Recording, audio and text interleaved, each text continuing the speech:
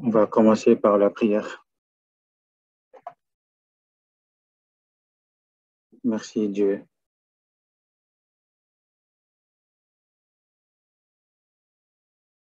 Merci de nous avoir sauvés et de nous avoir accordé l'espérance du, du royaume des cieux. Merci aussi de nous avoir accordé le Saint-Esprit et de nous guider notre vie.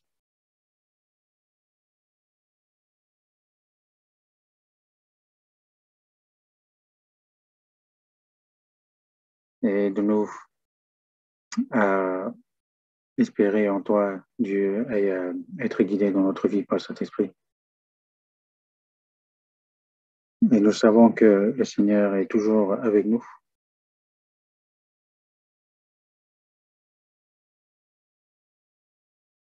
Et de nous euh, mieux vivre dans la vie de foi en se confiant davantage en toi, Seigneur.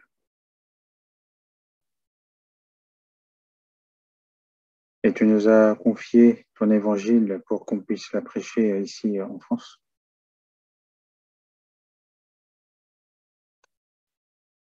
Aide-nous pour que nous puissions euh, nous euh, efforcer davantage dans cette œuvre.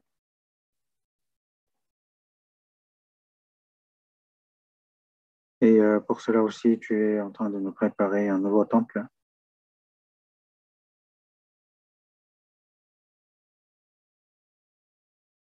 Et concernant l'autorisation, nous souhaitons que tu puisses nous euh, l'accorder. Et euh, dans la semaine qui arrive, l'acquisition du, du, nouveau temple est programmée. Et cela aussi, nous remettons euh, entre tes mains.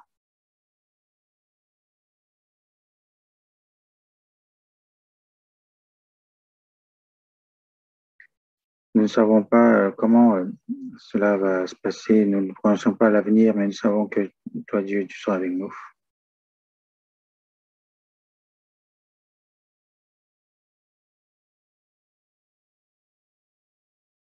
Et euh, nous ne connaissons pas notre avenir, mais aide-nous pour que nous puissions nous, donner le meilleur de nous-mêmes. Et de nous aussi pour que nous puissions nous concentrer davantage sur l'évangélisation.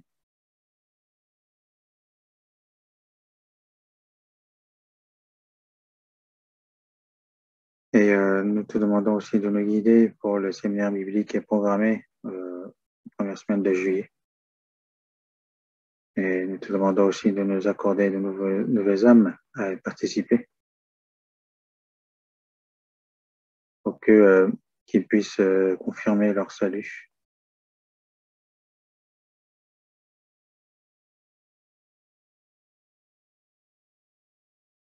Et euh, conduis-nous, dirige-nous pour que cela puisse euh, être un événement où nous puissions nous unir davantage.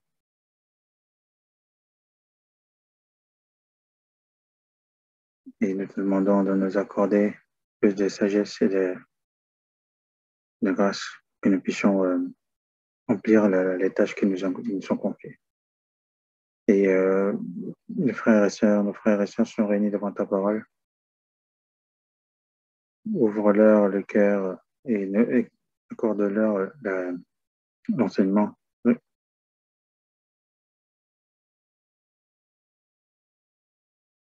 et d'aider pour qu'ils puissent les bien comprendre ta parole et, euh, et de les mettre en pratique dans leur vie.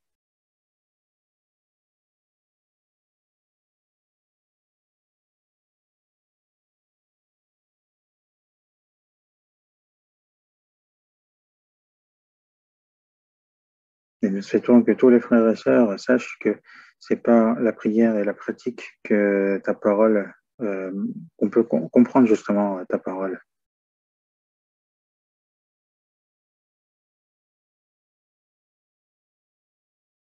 Et de nous pour que nous puissions euh, recevoir la consolation à travers ta parole.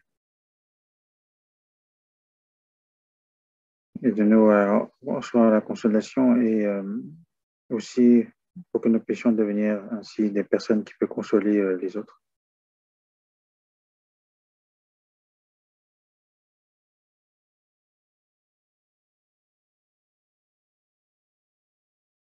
Et aussi, euh, soit avec les frères et sœurs qui écoutent la parole loin de l'Église, de tenir leur cœur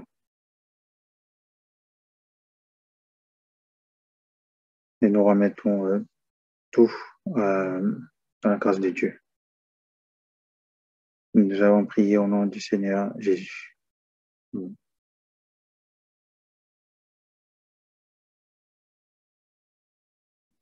Acte chapitre 10.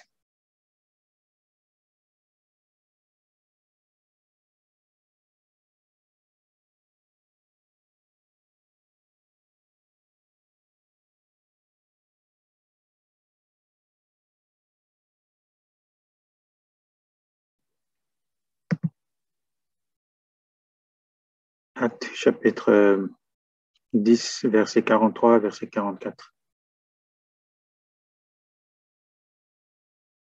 Acte chapitre 10, verset 43, 44.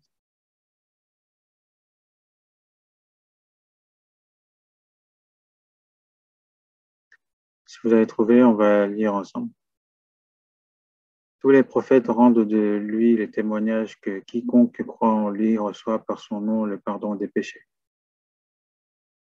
Comme Pierre prononçait encore ces mots, le Saint-Esprit descendit sur tous ceux qui écoutaient la parole.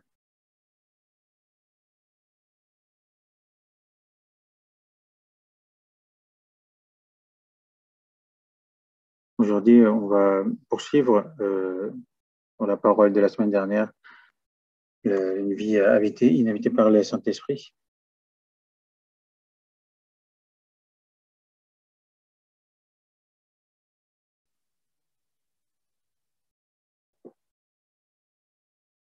La vie de foi signifie une vie en compagnie justement du Saint-Esprit.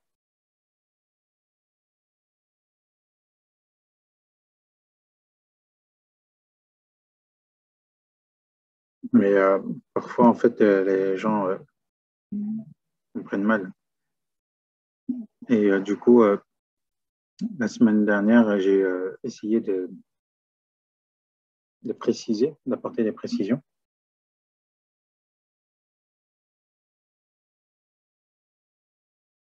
Parce qu'il y a des personnes qui pensent que le Saint-Esprit est comme un être qui, qui vagabond comme un nuage, en fait.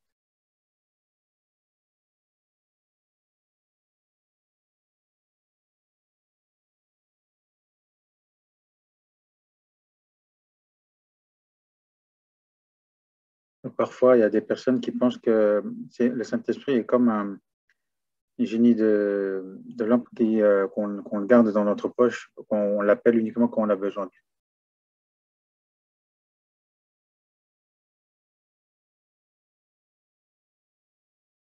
Et euh, du coup, il y a dans ce monde justement des personnes qui appellent le Saint-Esprit comme le génie de la lampe uniquement quand il a besoin de lui.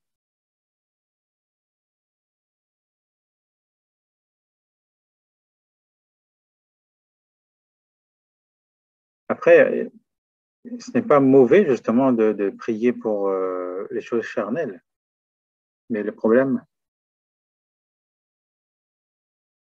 c'est quand on utilise le génie de la lampe et euh, une fois que le vœu est exaucé, ben, on le remet dans la poche. C'est ça le problème.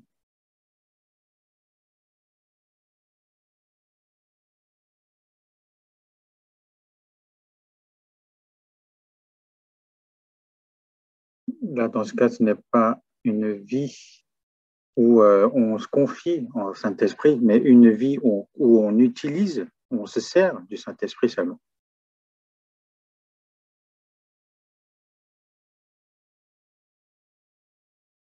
Et c'est quelque chose que nous devons faire attention et nous devons nous efforcer de ne pas agir ainsi.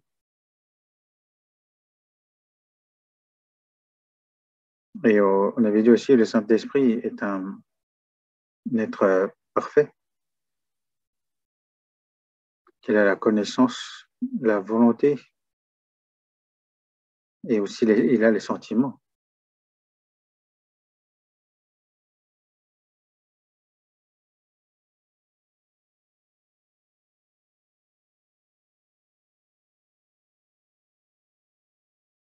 Et euh, si on, se comporte mal, le Saint-Esprit peut très bien se mettre euh, en colère contre nous.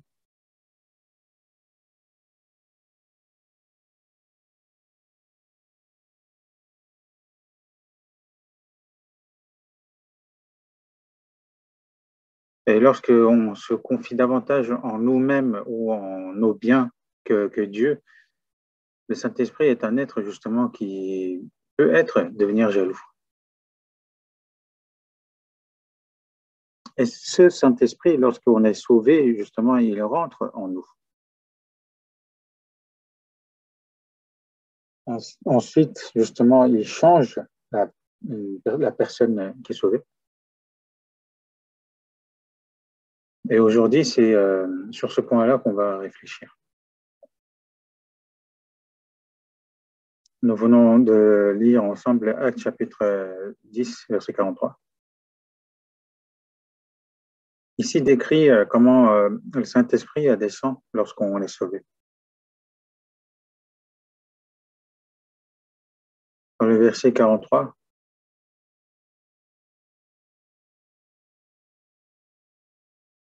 il est écrit Tous les prophètes rendent de lui le témoignage.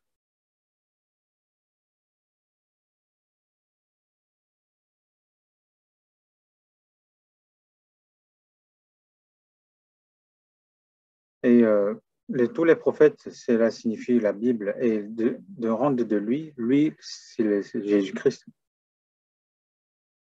Et quiconque croit en lui reçoit par son nom le pardon des péchés.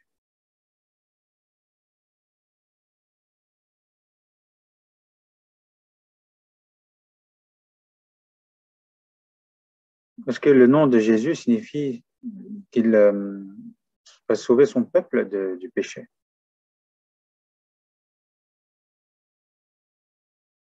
Et euh, c'est euh, le salut du pardon des péchés qui est en train d'être prêché ici.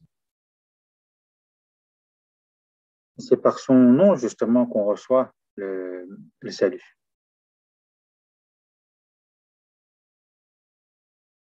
À part le nom de Jésus, il n'y a aucune puissance qui peut nous sauver de nos péchés. C'est pour ça que la Bible dit que le nom de Jésus est le nom le plus, euh, euh, beau. C'est le nom le, plus euh, beau nom sur cette terre. Et c'est son nom qui est rentré en moi, que je suis sauvé Et à ce moment-là, le Saint-Esprit entre en même temps en moi.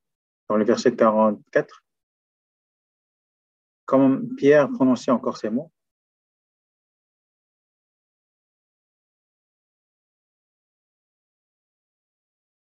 lorsqu'il euh, prononçait justement le, pardon des péchés par le nom du Jésus-Christ, Là, le Saint-Esprit descendit sur tous ceux qui écoutaient la parole. Le Saint-Esprit vient à tous, ceux qui sont sauvés.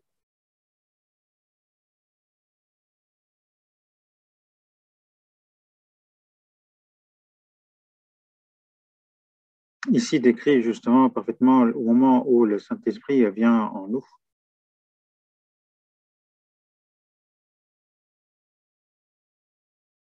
l'évangile, ce n'est pas quelque chose qu'on reçoit parce qu'on est euh, intelligent.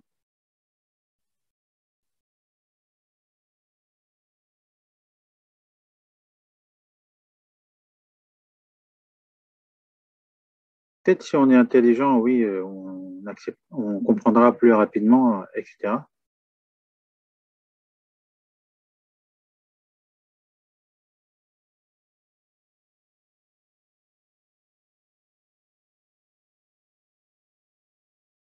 Mais la question du salut, la question de la foi, c'est une question de, de l'accepter ou non. Donc ce n'est pas parce qu'on est intelligent qu'on reçoit le salut.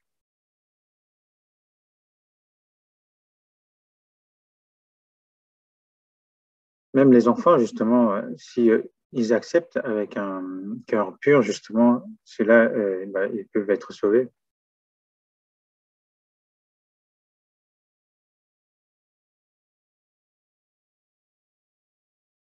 Et même ceux qui sont dans un état critique juste avant la mort, s'ils entendent de cela et s'ils acceptent cela dans leur cœur, ils peuvent recevoir le salut.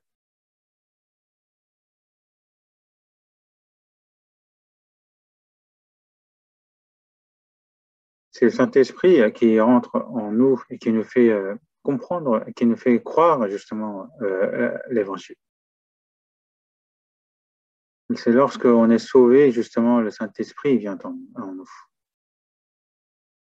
Et il ne s'éloigne pas de nous.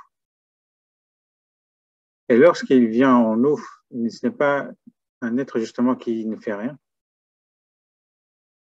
il, est en nous et euh, il travaille. Il nous fait euh, grandir en tant que chrétiens euh, aptes devant Dieu.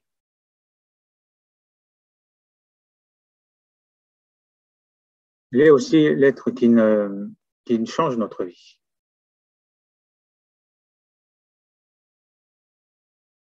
Et euh, c'est pour cela que nous devons mener une vie remplie du Saint-Esprit.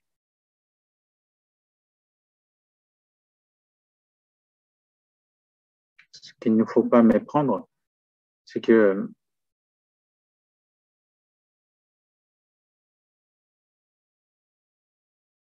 être rempli du Saint-Esprit ne signifie pas qu'on devient un être spécial euh, spirituellement.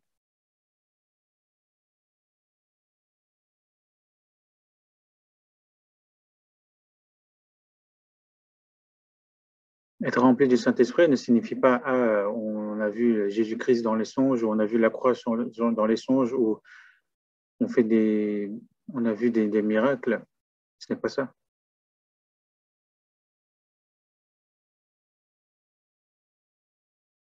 Une vie remplie du Saint-Esprit, c'est une vie tout à fait normale.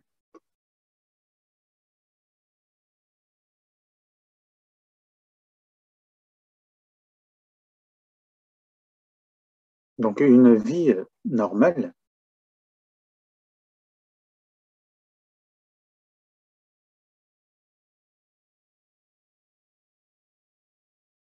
Une vie normale en tant que chrétien, c'est euh, une vie justement remplie du Saint-Esprit. Si on inverse, on inverse le sens, c'est-à-dire si on n'est pas rempli, si on ne vit pas en étant rempli du Saint-Esprit, cela signifie qu'on ne peut pas vivre normalement une vie chrétienne. Parce que pour mener une vie normale, justement, il nous faut beaucoup d'énergie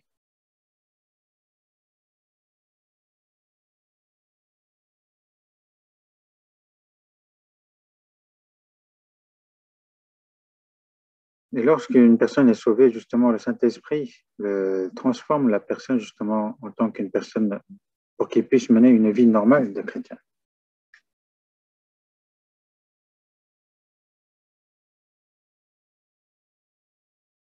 parfois, on peut, il y a des personnes qui me disent, alors, qui me répliquent en disant, ah bah, dans ce cas, avant d'être sauvé, je n'ai pas vécu une vie normale. Je suis désolé, mais tous les gens de ce monde non sauvés, justement, ne mènent pas une vie normale.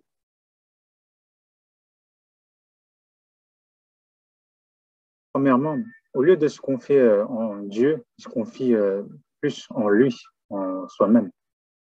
C'est de là, justement, où les choses euh, qui ne sont pas normaux, justement, se passent. Parce qu'ils ne suivent pas la parole, mais ils suivent, justement, la connaissance du monde. Il se confie davantage dans l'argent, il se confie davantage aux personnes qui sont autour de lui.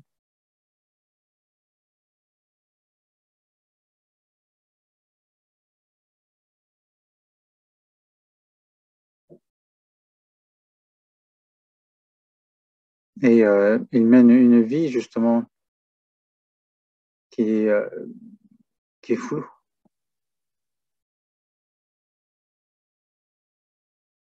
Si on n'a pas le Saint-Esprit en nous, justement, nous ne pouvons pas mener une vie normale.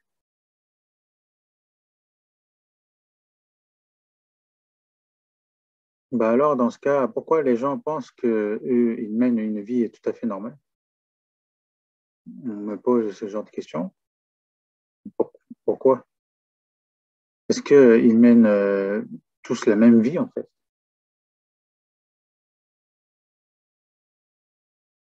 fait, le critère d'une vie normale est mal euh, réglé.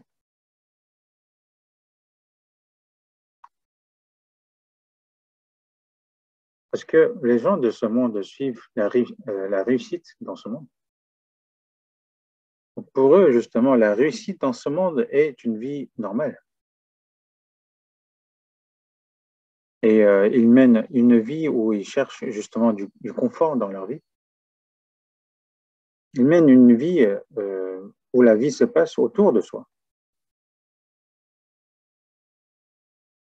Mais euh, il ne vit pas comme ça seul, mais tout le monde vit comme ça, donc il pense que c'est une vie normale. Mais la Bible ne dit pas cela.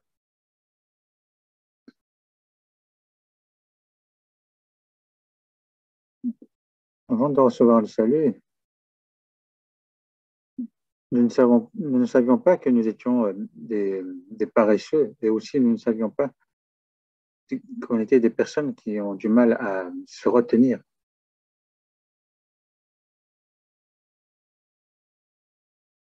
Mais euh, malgré le fait qu'on a reçu le salut, cette vie d'ancienne, justement avant le salut, continue.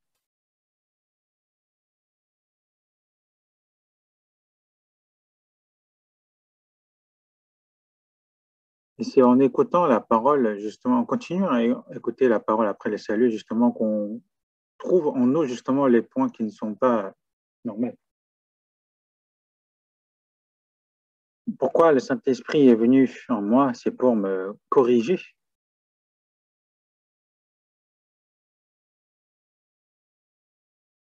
Nous avons vu que le salut euh, s'effectue en trois étapes.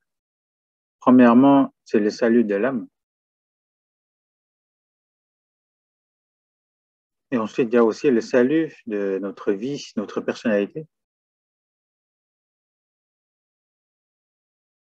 Et aussi le salut qui s'effectuera lorsque le Seigneur reviendra, justement, le, changement de notre corps.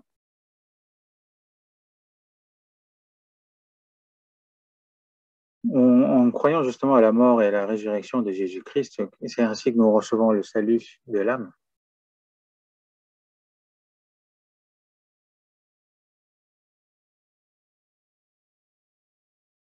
Mais par le fait que le Saint-Esprit vient en moi, justement, il me change ma vie, il me change ma personnalité.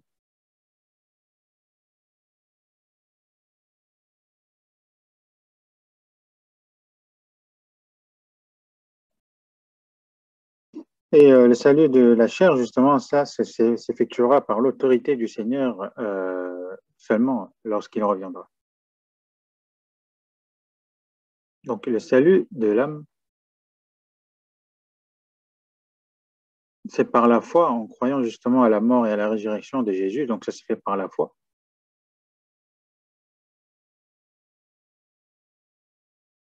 Ensuite, le salut de l'âme et la personnalité, c'est en suivant la parole, en suivant le directive du Seigneur, c'est ainsi que, que ça se change.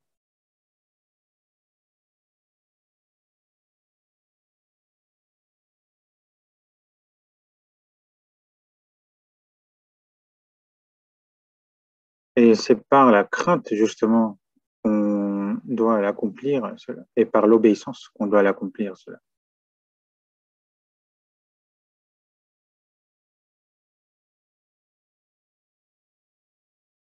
Et euh, même si on n'y arrive pas personnellement, c'est par l'obéissance et la crainte de Dieu qu'on accomplit justement cette euh, salut de, la personnalité et de, et de la vie. Et le salut de la chair, lorsque euh, le salut de la chair lors de l'avènement, le second avènement du Seigneur, c'est quelque chose qu'on doit attendre. C'est une victoire que le Seigneur vient nous donnera en fait. Et euh, c'est quelque chose qui s'accomplira lorsqu'on attend justement son second avènement.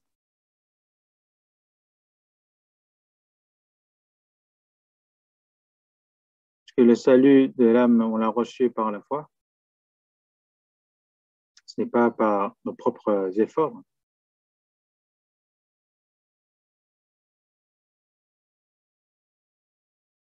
Et le salut de la chair, justement, c'est quelque chose, qui se fera par l'autorité du Seigneur. Ce n'est pas quelque chose qu'on va faire avec nos, forces, avec nos efforts.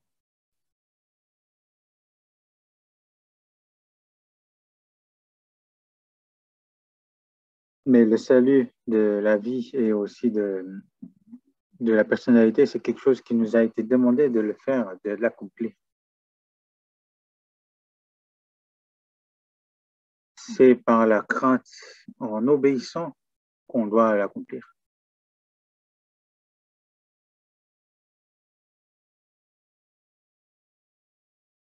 Et comme un enfant qui cherche le, sein de, sa mère, justement, on doit le souhaiter.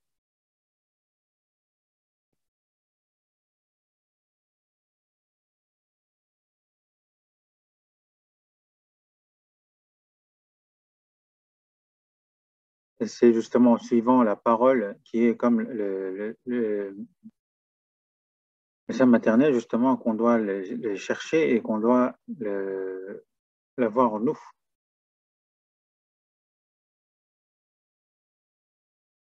Et ce qu'il faut savoir, cela aussi, en fait, ce n'est pas quelque chose qui est possible seulement avec nos, nos efforts.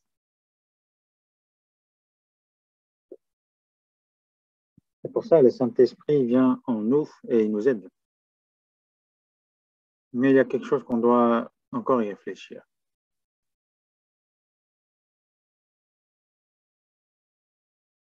Je vous ai dit que ce n'est pas quelque chose qu'on s'accomplit par nos propres efforts, mais c'est par l'aide de Dieu.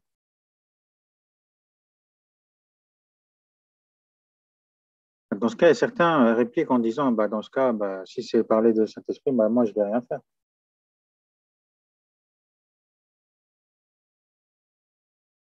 Cela ne veut pas dire justement qu'on se confie en Saint-Esprit, mais c'est euh, plutôt la paresse.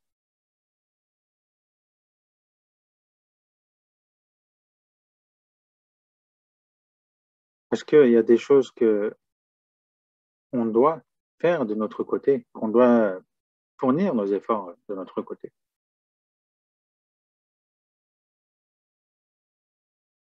Si on a compris justement la volonté de Dieu à travers la parole, bah, dans ce cas, les choses que moi je dois faire, je dois, euh, je dois me forcer de le faire. Ce que moi je dois faire de mon côté, je dois absolument me, donner jusqu'au bout et c'est le reste qu'on se confie en.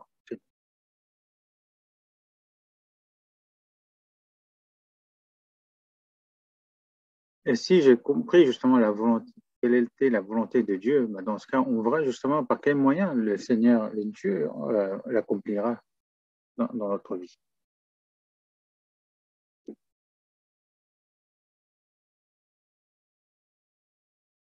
Mais euh, même si j'ai connu la volonté de Dieu, mais si je n'étais pas, pas reçu justement dans la préparation, euh, bah, Dieu fait en sorte que cela ne s'accomplira pas dans ma vie. Et on peut très bien aussi de, mal comprendre la, volonté de Dieu, et dans ce cas aussi, cela ne se fera pas. De croire en Dieu et de se confier en lui, cela signifie que la réponse, en fait, pourra être oui et non.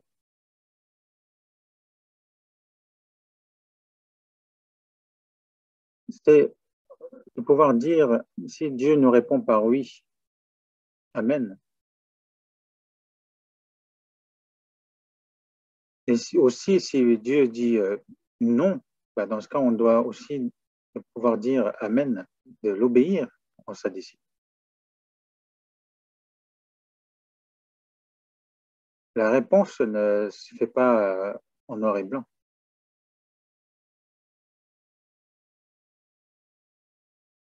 Ce qui est vraiment euh, indécis, c'est euh, le présent enfin, continue, on va dire.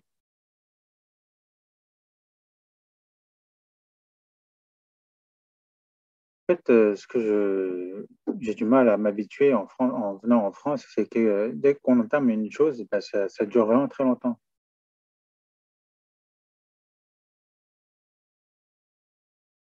Même si on envoie des emails justement aux personnes qui travaillent dans les euh, dans les lieux publics, justement, on reçoit des réponses qui sont euh, floues. C'est même pas c'est pas un oui, c'est pas un non. C'est pour ça oui, les Français utilisent souvent le, mot ça dépend. Mais ça, c'est du côté de, de l'homme. Mais euh, du côté de Dieu, c'est en présent continu, en fait. C'est en cours. C'est comme ça qu'il faut euh, y penser. Si c'est oui, bah, dans ce cas, il faut euh, savoir remercier Dieu.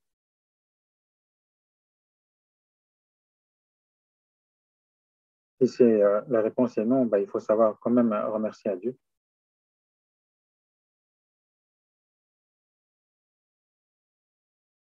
Donc, une personne justement qui euh,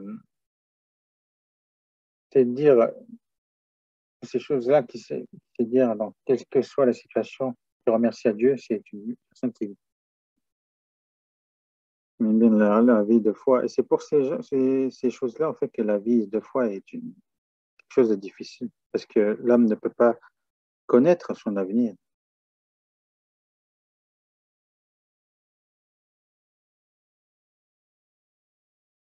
Pour ça, Dieu, donc le Saint-Esprit, vient en nous. Pour changer justement celui qui est sauvé.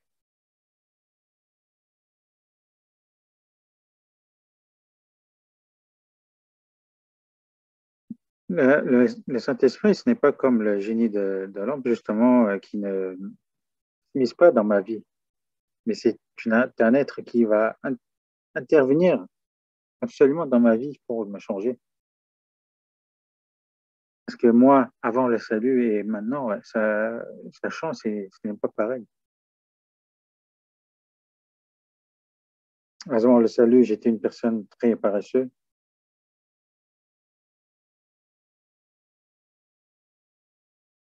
Et après le salut, je suis devenu une personne diligente dans l'évangile, dans l'évangélisation.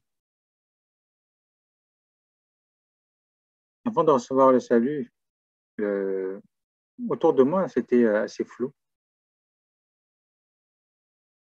Mais euh, après le salut, Dieu me change en, en devenir une personne justement qui est claire dans ses, euh, dans ses limites, dans ses décisions.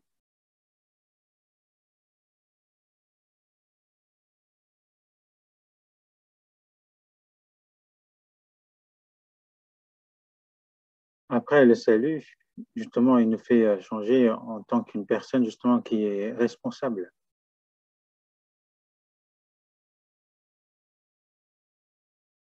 Et il nous transforme aussi euh, en tant que personne plus euh, sérieuse.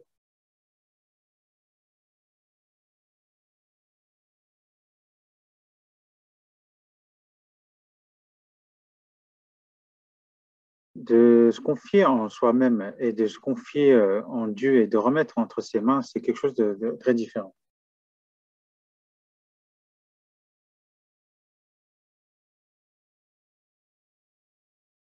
En fait, de se donner euh, le maximum de soi-même, c'est différent de se confier en soi-même.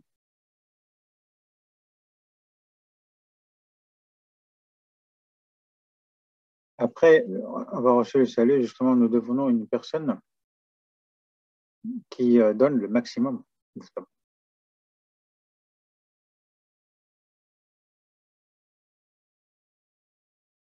Mais une personne qui se confie euh, uniquement en soi-même, c'est une personne qui, euh, qui se dit juste de toutes ses décisions.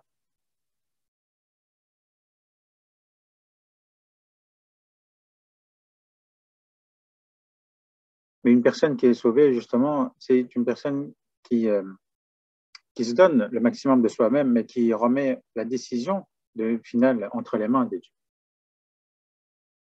C'est ainsi comment euh, Dieu change justement une personne sauvée?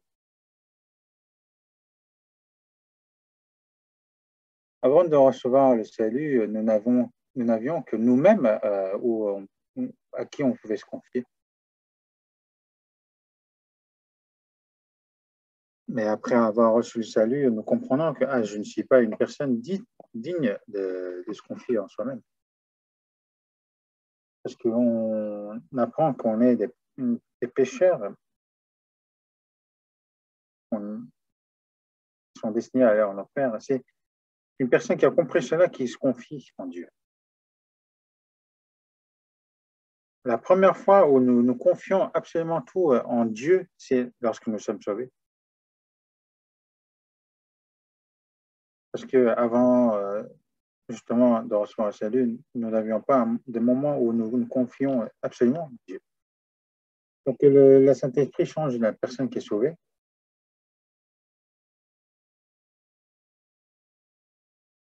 Change la personne, justement, qui se confie uniquement en soi-même à une personne qui se confie en Dieu.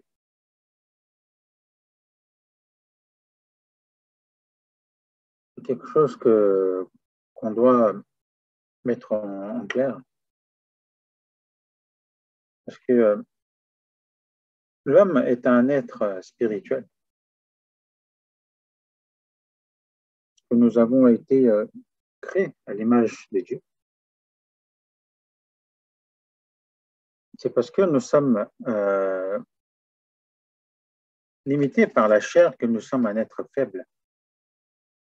À cause de la chair, justement, il y a des choses que nous ne pouvons le faire. Mais euh, dans vos pensées, ces, choses sont déjà accomplies.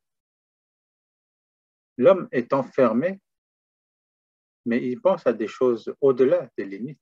Donc il a des potentiels illimités.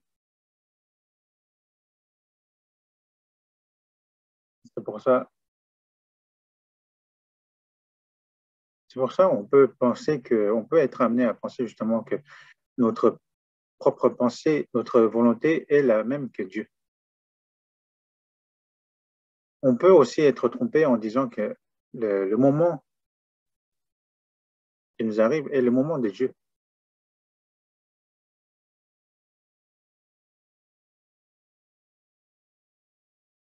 Et lorsqu'on est, euh, on est sauvé, justement, on devient un être où euh, on nous nous confions à Dieu, mais nous nous confions, nous nous confions à nous-mêmes, mais nous nous confions à, Dieu maintenant après le salut. Et par quel moyen il nous change? C'est par les afflictions, les souffrances et aussi par la parole.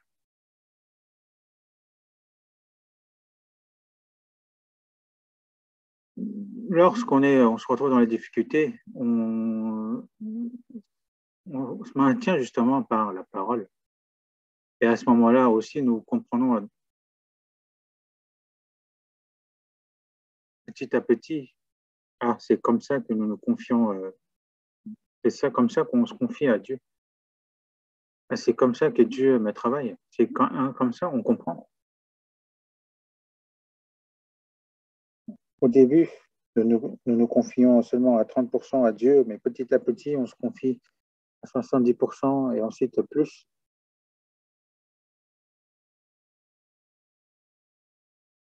Nous, changeons une personne qui se confie euh, uniquement à Dieu. Regardons à Proverbe chapitre 11.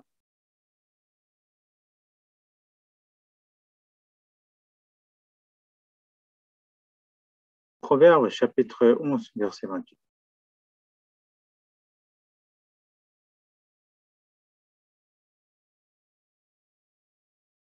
Celui qui se confie dans ses richesses tombera, mais les justes verdiront comme le feuillage. Celui qui se confie dans ses richesses tombera. Dieu a déjà annoncé que celui qui se confie dans ses propres moyens, dans ses propres forces, euh, tombera. Parce qu'avant le salut, nous ne savions même pas l'existence de Dieu.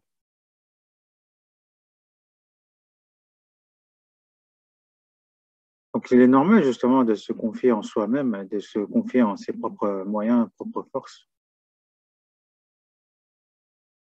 Bah, du coup, bah, de, vivre en se confiant, euh, par exemple, à YouTube, c'est quelque chose qui est normal.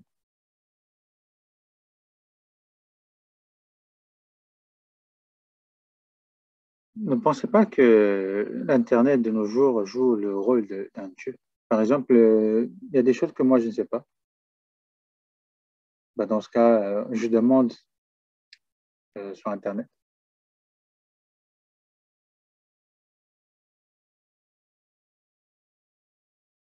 en ce moment, euh, la technologie est tellement avancée que si on, pose la question, bah, en moins d'une seconde, on a la réponse.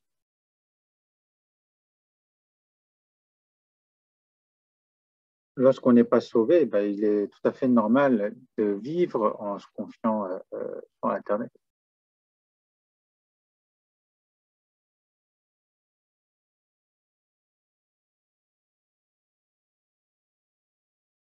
Il est dit aussi dans le verset 28, mais les justes verdiront comme le feuillage.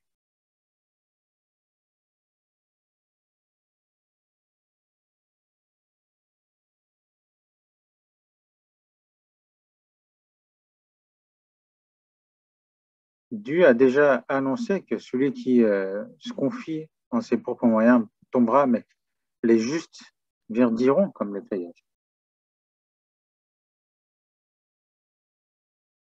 Avant de recevoir le salut, nous étions un être faible.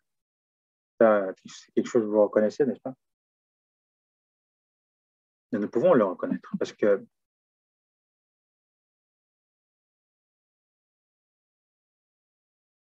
des personnes justement qui reconnaissent en étant euh, un être pécheur justement qui est destiné à aller en enfer qui peut recevoir le salut.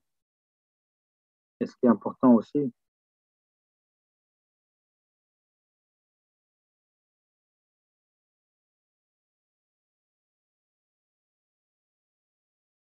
c'est euh, lorsqu'on continue à mener notre vie de foi qu'on comprend euh, encore plus que nous sommes un être faible.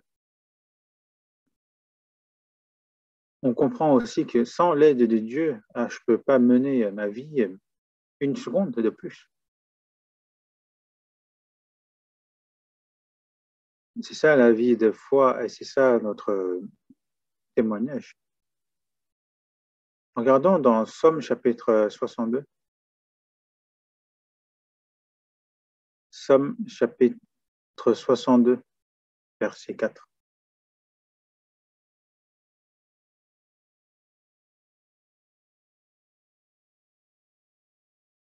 Chapitre 62, euh, verset 4. Jusqu'à quand vous jetterez-vous sur un homme? Chercherez-vous tous à l'abattre comme une muraille qui penche comme une clôture qu'on renverse? Et on voit un homme justement qui, enfin une muraille qui penche et euh,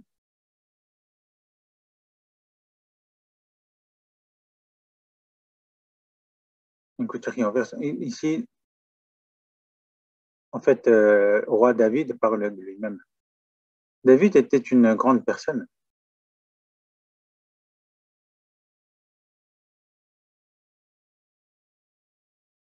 en tant que roi, il était le, meilleur roi justement d'Israël où il a emmené son pays à, un niveau euh, très haut, très puissant. Mais euh, regardez sa confession. Il dit qu'il était comme une muraille qui penche, comme une clôture qu'on renverse.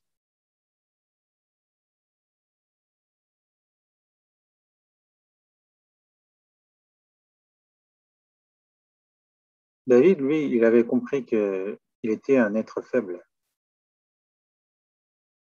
C'est pour cette raison qu'il se confie euh, encore plus à Dieu. Mais nous aussi.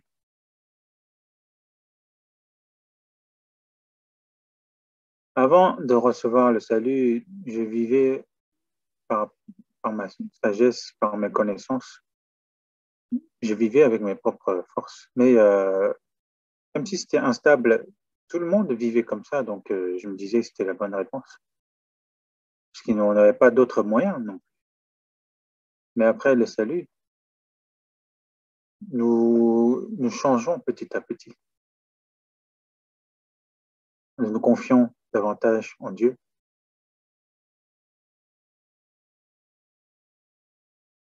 Et euh, il y a aussi des paroles justement que Dieu nous, nous donne à, chaque moment. Et c'est en se confiant à cette parole que qu'on vit. On va voir dans Ésaïe chapitre 50. Ésaïe chapitre 50, verset 10.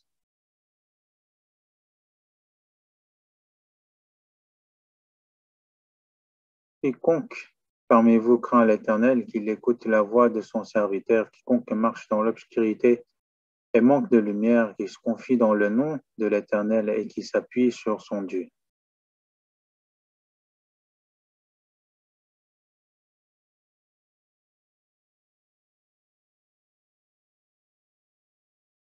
Qui donc parmi vous craint l'Éternel, qui l'écoute la voix de son serviteur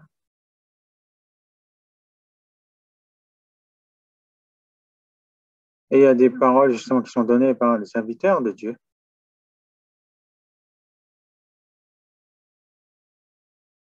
Et qui, qui écoute justement la voix de son serviteur.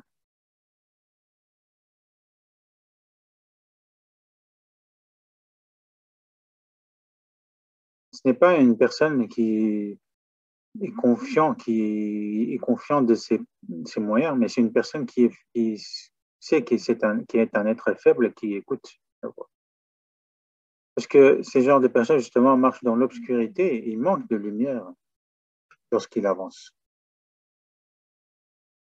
Il peut lui arriver beaucoup de situations euh, d'affliction et de souffrance devant lui. Et comme il n'y a pas de lumière, justement, il aura du mal à marcher vers l'avant. Il ne sait pas quoi faire. il peut arriver que justement ce soit un moment où il manque de lumière. Et justement, cette personne, qu'est-ce qu'il devra faire? Qu'il se confie dans le nom de l'Éternel et qu'il s'appuie sur lui. Une personne qui est sauvée, justement, transforme en une personne qui se confie en Dieu. le Saint-Esprit est venu en nous justement pour aider notre faiblesse.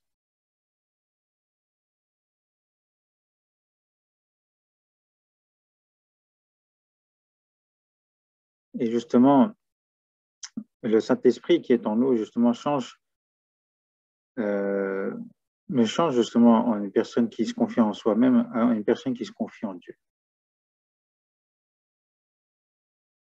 Mais si on regarde attentivement, en fait, la méthode dont il agit, justement, est une méthode où euh, ma chair, justement, n'aime pas. Parce que quelle est sa méthode? Vous le savez, parce que vous êtes en plein dedans.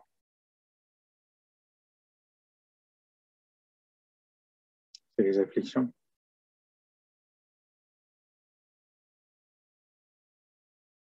Ah, c'est les euh, souffrances. Ah, j'aime pas du tout recevoir les afflictions. Mais ce qu'il faut savoir, recevoir les, afflictions, c'est la volonté de Dieu.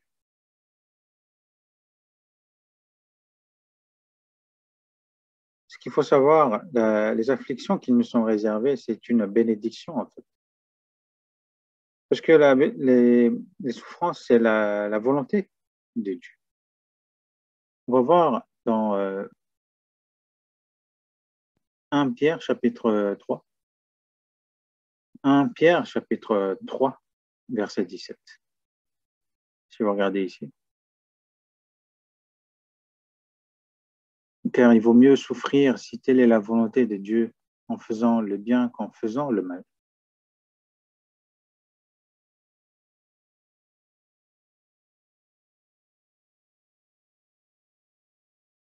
On va voir aussi chapitre 4, verset 19. Chapitre 4, verset 19. Ainsi que ceux qui souffrent selon la volonté de Dieu de souffrir, c'est la volonté de Dieu. Mais euh, l'intensité de la souffrance, justement, reçoit chacun est différente. Parce que euh, chaque personne a une, une foi différente. Et du coup, Dieu donne les souffrances euh, qui correspondent à chacun.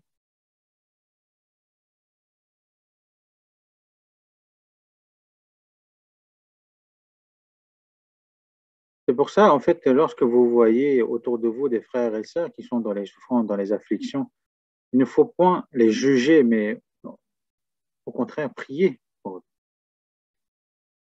Parce que c'est une euh, étape justement qui, que Dieu lui a permis justement pour que cette personne puisse grandir. Et la, souffrance, c'est quelque chose de, bien pour euh, toute personne.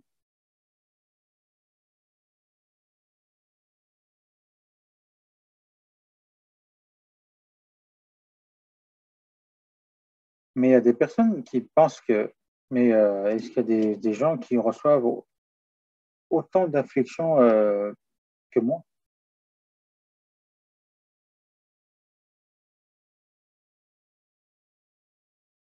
Donc il y a des personnes qui pensent que l'affliction qu'ils reçoivent est la plus grande que d'autres personnes.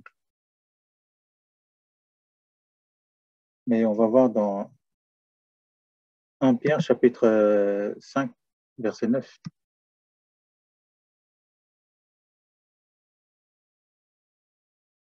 Sachant que les mêmes souffrances sont imposées à vos frères dans le monde.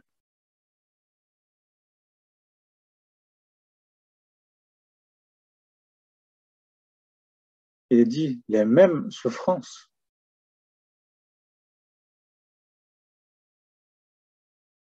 Une personne euh, chante comme ça, en disant, mais pourquoi moi? Pourquoi il n'y a que moi qui souffre comme ça?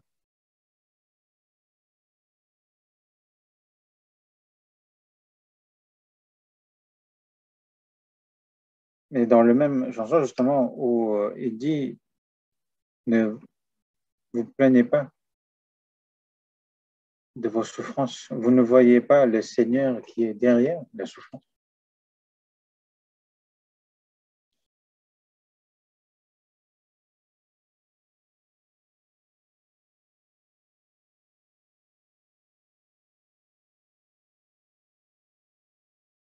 Lorsqu'on regarde l'apôtre Paul, justement, les souffrances qu'il a reçues est vraiment euh, énorme, mais c'est parce que sa foi était aussi euh, grande. C'est parce que sa foi était si grande que justement les afflictions qui lui étaient survenues aussi étaient grandes.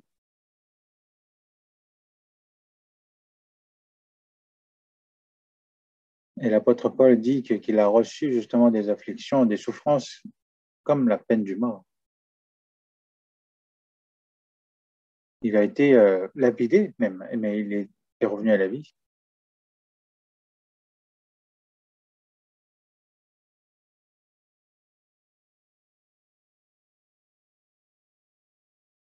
Il avait aussi reçu la souffrance de, tempête qui a duré euh, une semaine.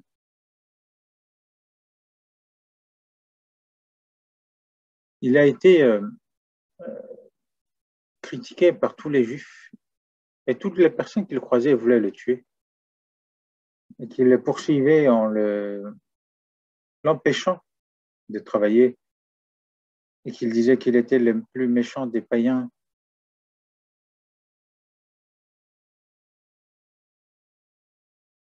Comment nous pouvions justement parler légèrement de toutes les souffrances qu'a reçues l'apôtre Paul?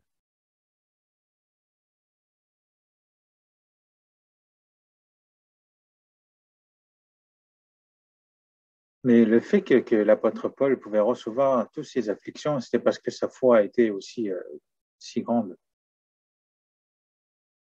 On va voir dans 2 Corinthiens chapitre 1.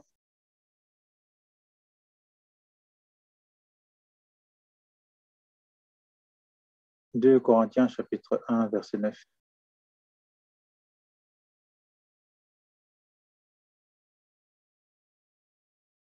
chapitre 1, verset 9.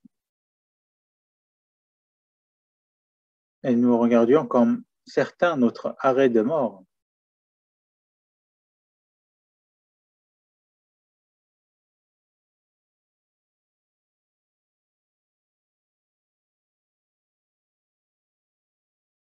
Mais euh, il dit pourquoi ils avaient reçu justement comme euh, des souffrances comme un arrêt de mort. Il nous dit après.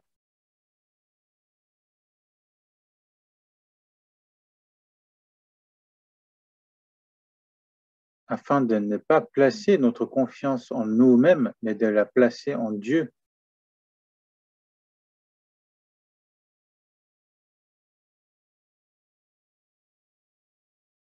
Ce qui est important ici, c'est de placer en Dieu seulement. C'est ce qui est important.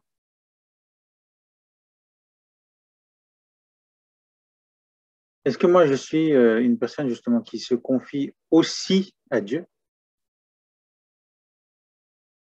Ou est-ce que je suis une personne qui se confie uniquement en Dieu? On peut se confier en Dieu aussi, en se confiant aussi à ses propres euh, sagesses, en se confiant aussi à Dieu, en se confiant à soi-même en se confiant aussi à Dieu. Se confiant aussi aux personnes qui sont autour de moi, mais aussi à Dieu, ou encore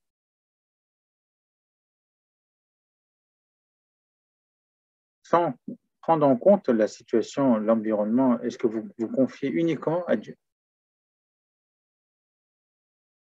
Il y a une chose qu'on doit savoir.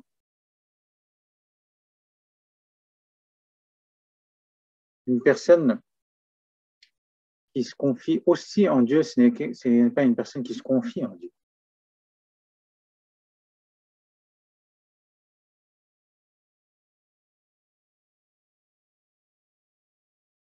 L'apôtre Paul était une personne qui savait euh, se confier uniquement en Dieu. Et c'est pas les souffrances comme un arrêt de mort, justement, c'est par ces souffrances-là qu'il a compris.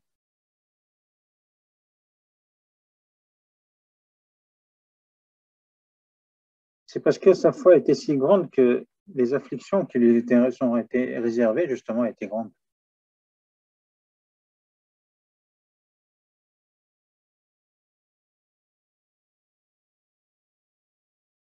Imaginons que, par exemple, je prie, euh, je fais une prière de bénédiction pour vous. Mais euh, quelle serait la meilleure prière de bénédiction?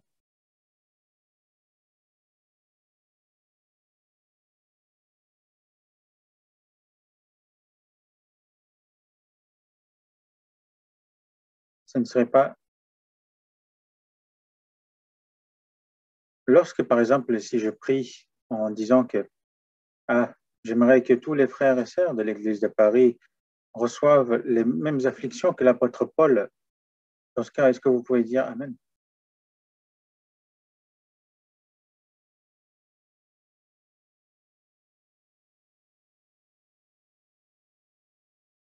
Même si pour l'instant c'est difficile J'aimerais que vous demandez justement de, continuer à grandir dans la foi pour euh, recevoir ces afflictions, pour se confier uniquement à Dieu, quelles que soient les souffrances, quelle que soit la situation.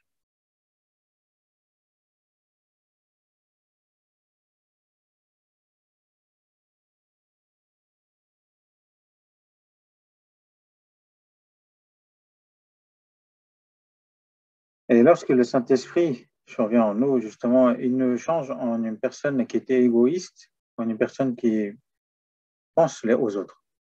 Avant de recevoir le, salut, j'étais une personne euh, qui ne connaissait que moi-même. Mais après le salut, je deviens une personne remplie d'amour. Parce que Jésus lui-même, était amour. Par exemple, 2 Corinthiens chapitre 13 est un chapitre de charité. C'est un chapitre justement qui décrit parfaitement la, personnalité de Jésus. Il est dit que la charité est. Essayez de méditer le chapitre 13 de 2 Corinthiens. Ne pensez pas euh, à l'amour de ce monde,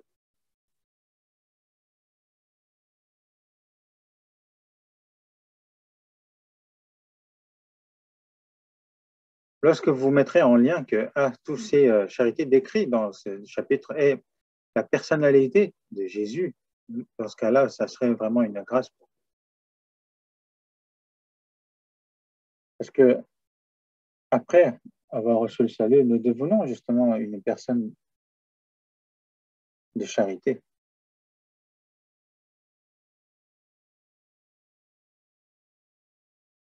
Et il est dit dans deux Pierre que vous n'avez pas vu Jésus, mais vous l'aimez. Sans le voir, est-ce que vous pouvez l'aimer? Même si on ne l'a pas vu, on l'aime, Jésus.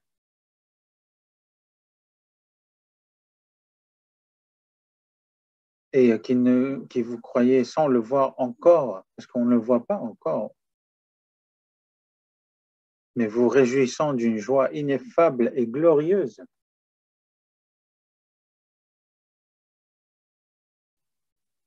à la fois qu'on est réjoui et qu'on peut aimer le Seigneur. Pourquoi?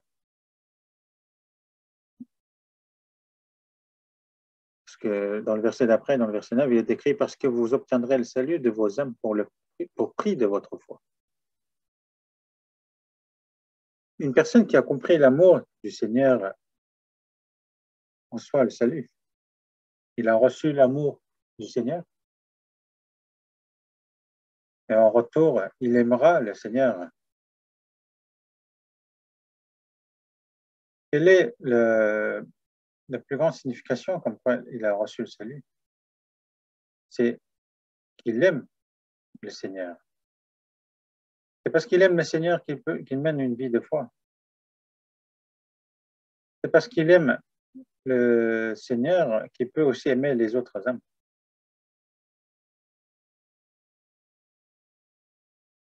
C'est parce qu'il aime le Seigneur qu'il peut se sacrifier quand même. Parce que c'est la personnalité du Seigneur.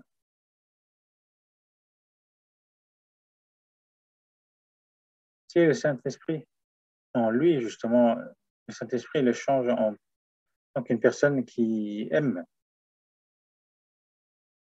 particulièrement les frères et sœurs.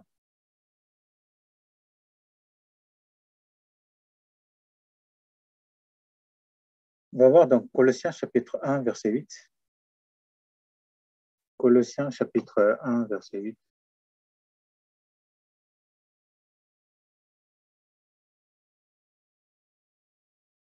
et qui nous a appris de quelle charité l'Esprit vous a mis.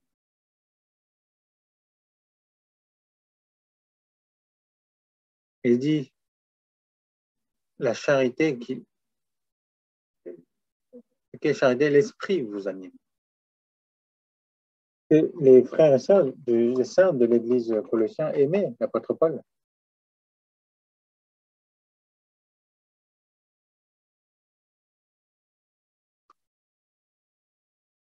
Et Fafras, justement, lui, il a transmis l'amour de la charité, justement, de l'Église colossienne à l'apôtre Paul qui était enfermé. Mais alors, cette charité, d'où est-ce qu'elle vient?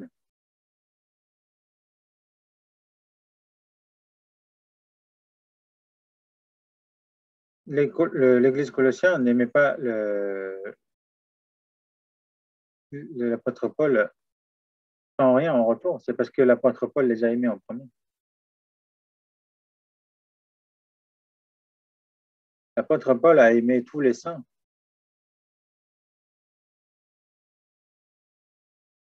Il a aussi aimé l'Église corinthienne, les saints de l'Église corinthienne, là où il y avait énormément de problèmes.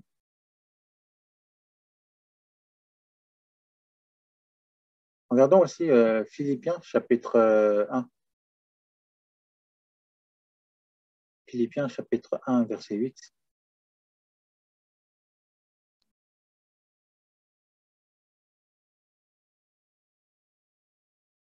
Car Dieu m'est témoin que je vous chéris tous avec la tendresse de Jésus-Christ.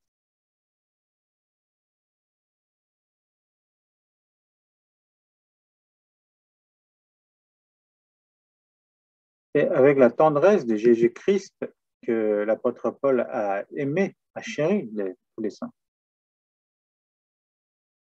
Vous savez euh, combien de cœurs on a après avoir reçu le salut? Maintenant, combien de cœurs vous avez après avoir reçu le salut? On en a deux maintenant. Il y a mon cœur de base, mais aussi on a reçu le cœur du Seigneur. Et dans l'apôtre Paul, justement, il possède le, cœur du, Seigneur. C'est avec ce cœur, il s'est transformé en une personne qui aime les autres saints. C'est ça, quelque chose, c'est quelque chose que justement le Saint-Esprit fait. Donc, qu'est-ce qu'il peut faire en tout, tout début pour une personne qu'il aime dans le verset 9 est-ce que je demande dans mes prières? La prière, c'est la preuve de le plus grand amour.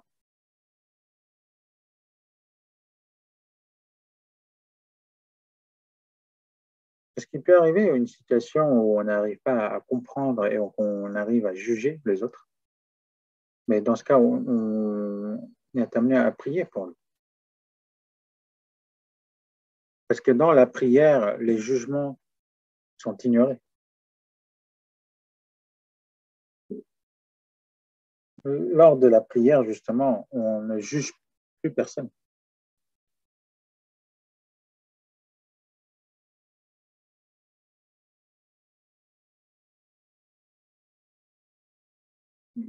Une prière sainte, une prière par le Saint-Esprit, ce n'est pas une prière en vain.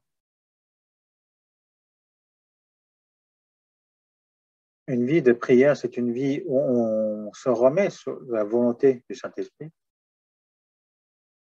C'est aussi une vie où on pardonne les autres.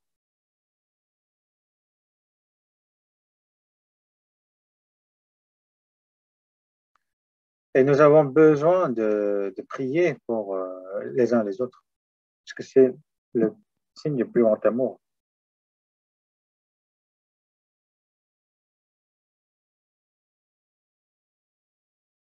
Et il est dit dans le Romain chapitre 1, verset 9 que mettez-moi que je fais sans cesse mention de vous.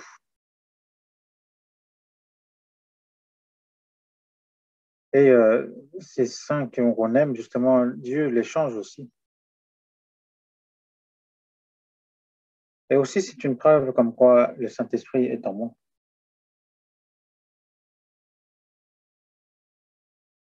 Et dans 1 euh, Jean chapitre 4, verset 20, il est dit,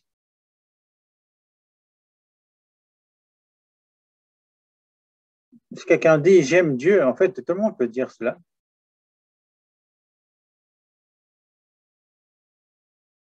Mais si quelqu'un dit j'aime Dieu et qu'il laïsse son frère, bah, c'est un menteur.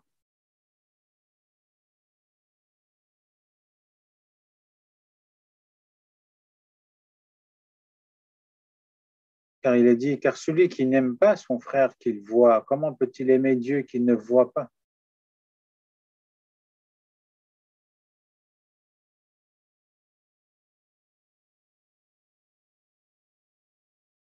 Une personne qui aime vraiment la personne, justement, ne le juge pas et ne le critique pas. Par exemple, la mère, une mère aime ses enfants.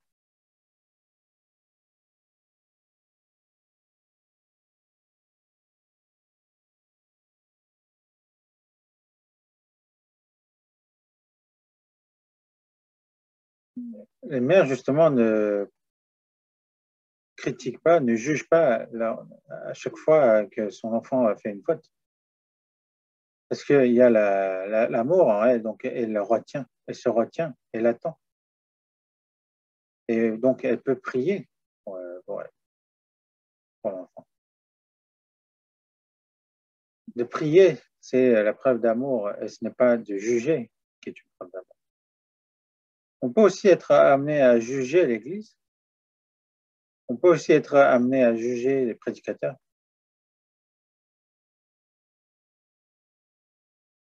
Mais comme nous sommes tous des êtres humains, bien sûr, il peut nous, avoir des aspects euh, faibles.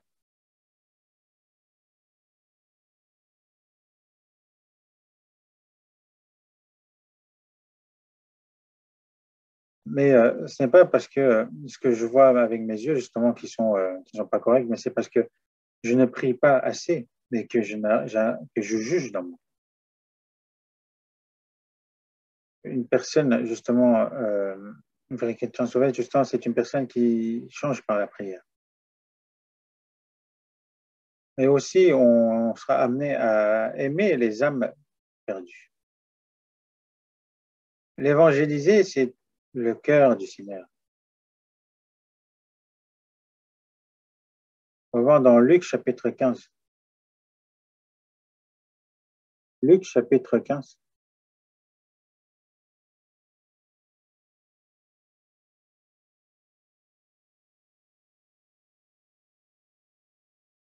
Luc chapitre 15, verset 4.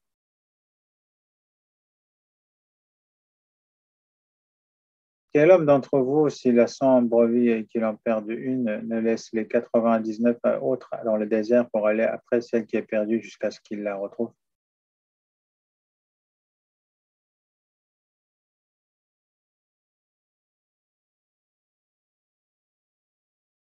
Il y a 100 brebis et euh, il y a 99 qui sont dans la sécurité, mais il a perdu une. S'il la laisse perdue, bah, il sera mangé par les euh, prédateurs. Dans ce cas, qu'est-ce qu'il va faire le, maître? Il va mettre en sécurité les 99 autres et il va aller chercher cette euh, brebis perdue. Ici, il représente justement le cœur du Seigneur. Le Seigneur est venu pour chercher les âmes perdues. Parce que lui, il est Dieu lui-même.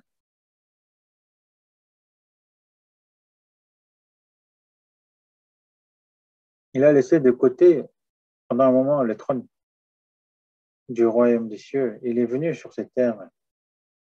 En plus, il est venu en ayant la chair pour me sauver, moi qui suis comme qui ne suis qu'un homme. Et en plus, il a demeuré dans la chair. Cela signifie aussi qu'il a mené sa, vie justement au milieu des autres.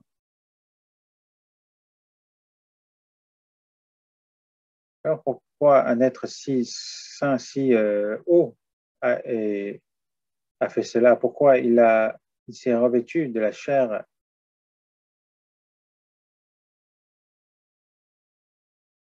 Parce que si Jésus n'avait point d'amour envers moi, justement, il n'aurait jamais porté la chair.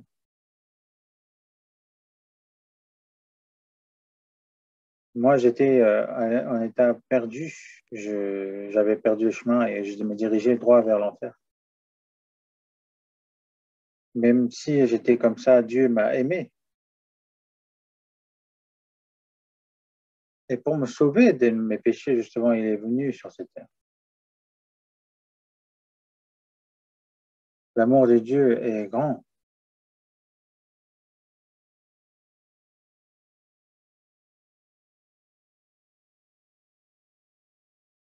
Imaginez si euh, le président Macron euh, se ramenait ici, bah, ce serait vraiment une, grande de, grâce. Parce que lorsqu'il y a des personnes très élevées dans ce monde socialement qui viennent nous voir, on peut dire Ah, ils pensent à nous. Mais euh, celui qui est venu en nous, c'est Dieu lui-même. Le Dieu, le Créateur. Il est venu pour laver nos péchés. C'est pour ça qu'il a reçu à notre place la souffrance et la honte.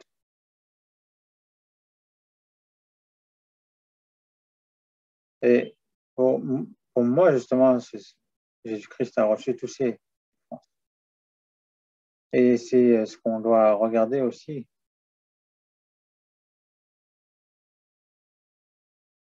Il dit que justement, Jésus est tombé sept fois lorsqu'il montait sur la colline de Golgotha. Et le, déjà, le jour avant, il avait reçu des verges, il avait été frappé des verges, il avait perdu beaucoup de sang. Parce qu'il y avait beaucoup de personnes qui mouraient justement avec ces, ces,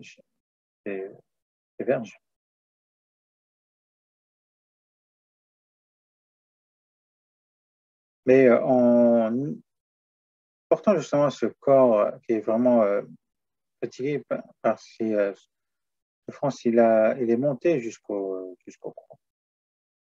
Sur le chemin, il est tombé sept fois.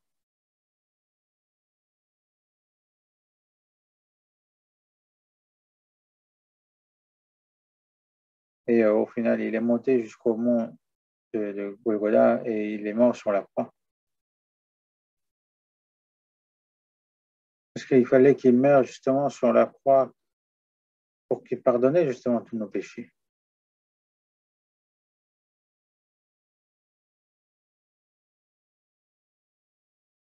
comme ça, il devait verser son sang pour euh, que Dieu pardonne nos péchés. Et euh, le Seigneur est mort sur la croix. Il m'a aimé.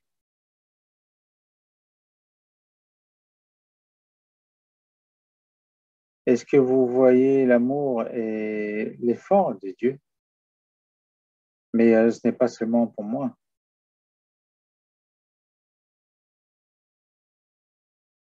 Il aime aussi tous ceux qui ne sont pas encore sauvés comme ça.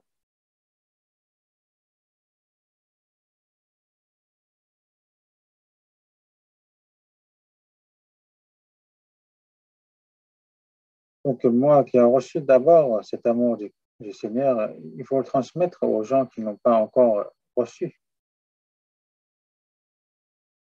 Mais euh, c'est vrai qu'ils n'écoutent point. Ils sont vraiment têtus. Ils ont vraiment fermé le cœur.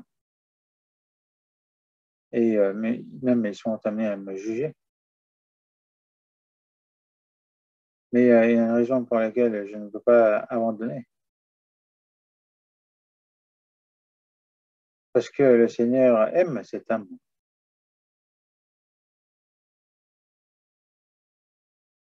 C'est pour ça que nous n'abandonnons pas justement l'évangélisation.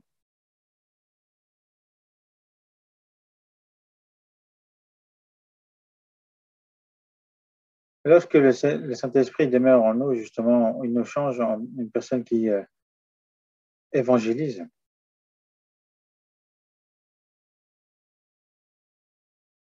Et euh, lorsque le Saint-Esprit vient dans moi, justement, euh, je change, ma vie me change.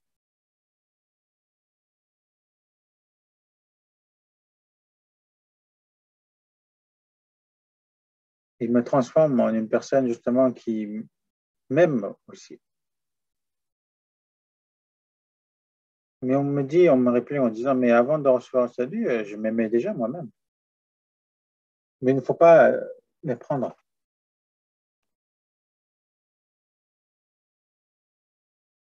Aimer soi-même, cela ne veut pas dire de, de se concentrer uniquement en soi, d'être égoïste.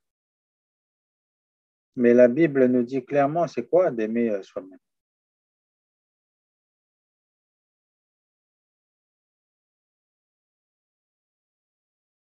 C'est quoi de s'aimer à soi-même C'est de s'éloigner du péché?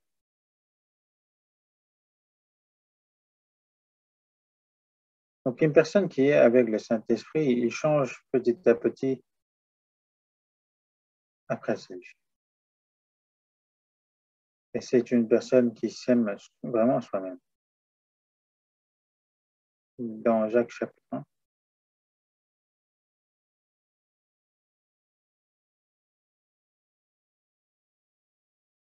Jacques chapitre 1, verset 27.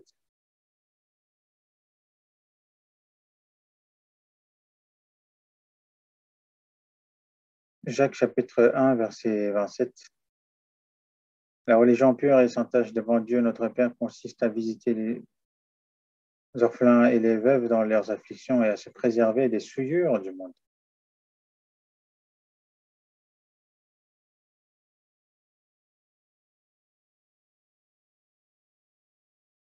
Ici, la religion pure et sans tâche devant Dieu, notre Père,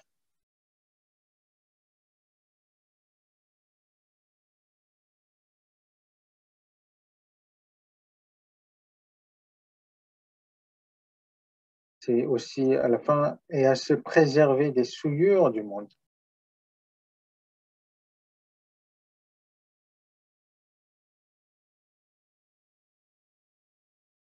Une personne qui est sauvée, justement, est une personne qui s'aime soi-même, mais aussi c'est une personne qui se préserve des souillures du monde. Il parle aussi d'aimer les autres qui consiste à visiter les orphelins et les veuves dans leurs afflictions.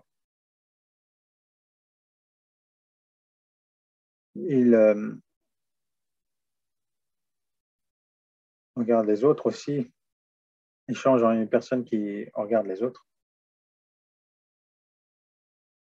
Mais surtout à se préserver des souillures du monde. C'est ça d'aimer soi-même. C'est le véritable amour de soi-même.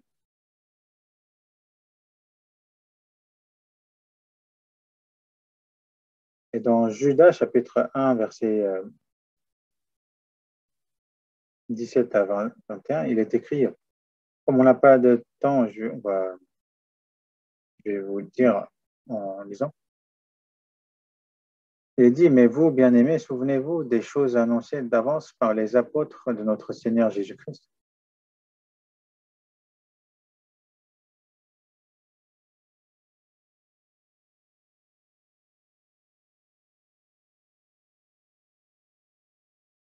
de se souvenir justement la, parole annoncée par Dieu, Jésus-Christ.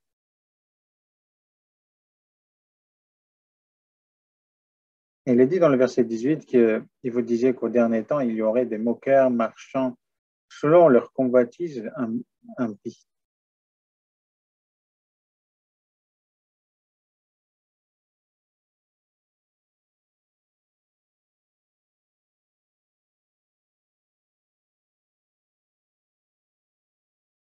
Elle dit, Jésus a dit que ceux qui sont saints deviendront de plus en plus saints, mais ceux qui sont dans les impies, justement, deviennent de plus en plus euh, des impies. Justement, être saint, une personne qui souhaite justement devenir saint deviendra de plus en plus saint.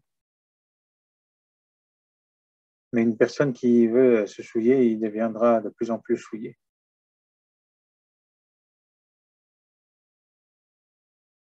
Donc il va suivre selon leur convoitise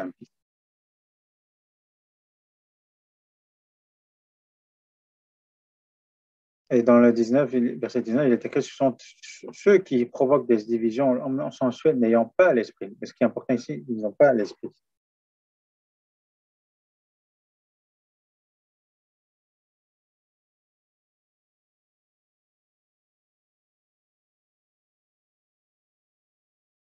Dans le verset 20, il est écrit Pour vous, bien-aimés, vous édifiant vous-même sur votre très sainte foi, priant par le Saint-Esprit.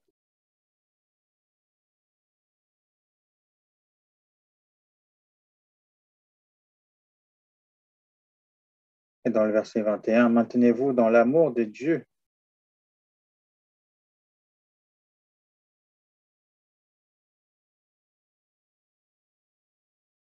Une personne qui aime soi-même, justement, c'est une personne qui se maintient dans l'amour de Dieu qui euh, devient de plus en plus saint.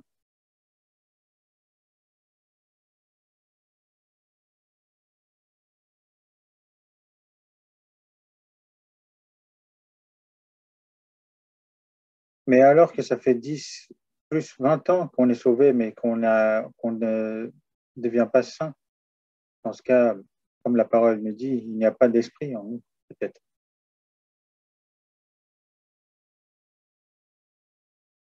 Et donc, il est écrit dans comme dans le verset 21, en attendant la miséricorde de notre Seigneur Jésus-Christ pour la vie éternelle. Donc, maintenez-vous dans l'amour de Dieu. Réfléchissez. Le Saint-Esprit que moi je possède, c'est qui? C'est qui?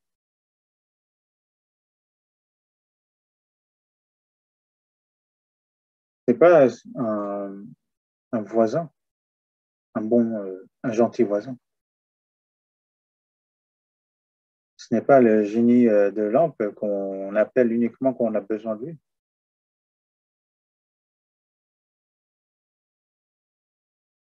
Parce que c'est lui, c'est un être justement qui est,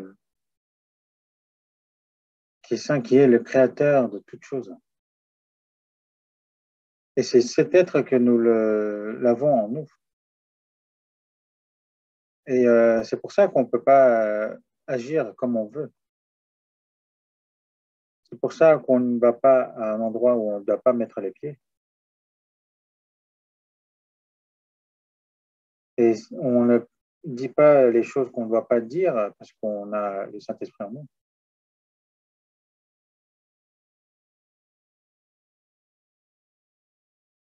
Ou que j'y aille, ou que je dis, ou que je, je vois, le Saint-Esprit est toujours avec nous.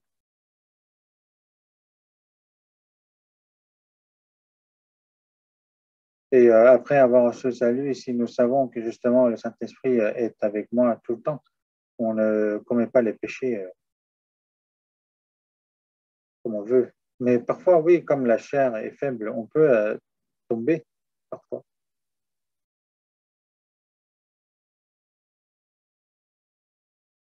En tant qu'humain, justement, on peut, euh, on est instable, donc on peut très bien tomber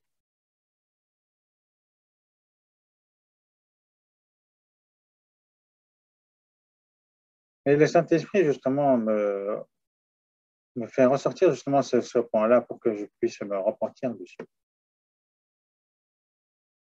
C'est ce point-là qu'on doit confesser à Dieu et ensuite mener une, une vie de foi normale.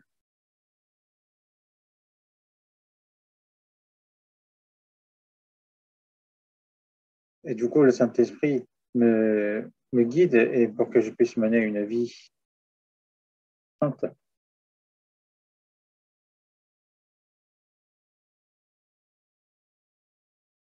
c'est pour me changer en une personne euh, pure et sainte, justement, qu'il est en moi, qui demeure en moi, qui me change.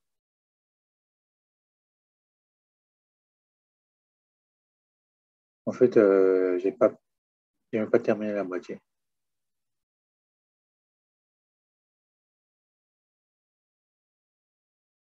si je n'ai pas assez de capacité, le, temps est déjà terminé.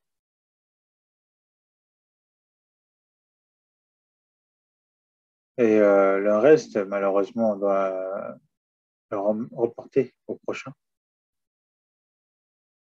Si on récapitule ce qu'on a vu aujourd'hui, lorsqu'on est sauvé, on reçoit le Saint-Esprit.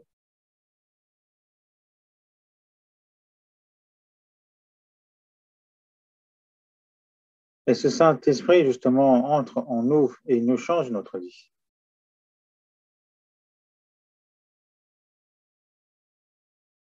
Il me change en une personne qui se confie uniquement en, soi-même, une personne qui confie uniquement à Dieu. Et c'est par les souffrances qu'il nous euh, fait comprendre, qu'il nous apprend. Et il nous change aussi en tant que personne qui était égoïste, mais en une personne qui, pense aux, autres, une personne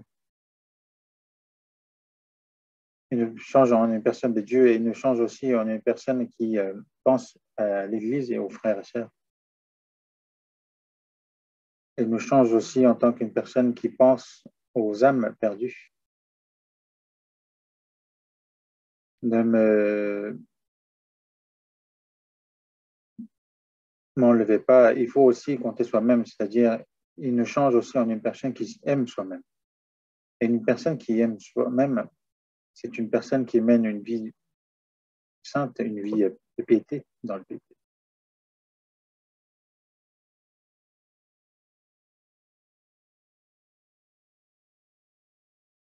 Et euh, nous avons vu justement que le Saint-Esprit euh, vient en, ceux qui sont sauvés et qui changent la vie.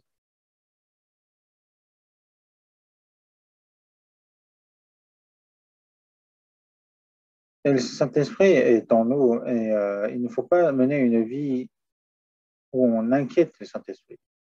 Moi, je ne connais pas l'avenir, mais le Saint-Esprit connaît déjà l'avenir. Il va nous conduire dans, le droit chemin.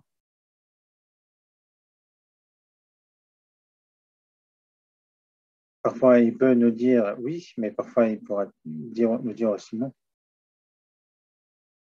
Lorsque cela correspond à ma propre volonté, ben, on peut se soumettre, on peut obéir à 100%. Mais lorsque sa volonté est contraire à la mienne, ben, il faut savoir aussi se soumettre à, obéir à sa volonté. Et ça, de, mettre justement, de se remettre à 100% euh, au Saint-Esprit. Si je mène une vie où je me confie 100% au, au, Seigneur, c'est lui qui, qui sera responsable de ma vie à 100%.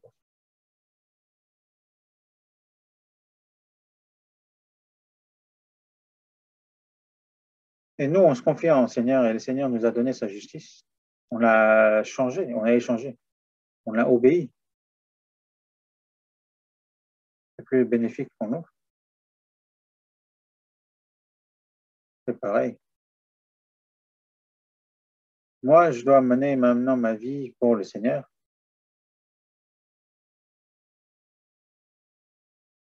Et le Seigneur, justement, s'occupe de ma vie maintenant. Même après le salut, justement, nous menons une vie où on a un échange avec le Seigneur. Si je donne moi-même, justement, le Seigneur nous rend de, lui. Justement, c'est une vie on sera rempli de, de, de grâce. On va prier ensemble. Merci Dieu. Tu nous as sauvés, tu nous as donné le Saint-Esprit.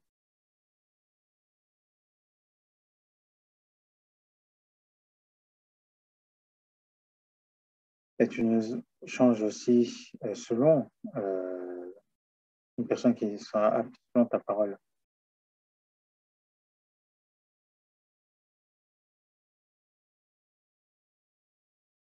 Et euh, aide-nous à marcher avec le Saint-Esprit et à devenir une personne qui mène une vie de foi normale. Te remercions d'avoir été avec nous pendant cette écoute du sermon. Et nous te demandons de nous accorder cette connaissance et de l'appliquer dans notre vie. Nous avons prié au nom du Seigneur Jésus. Amen.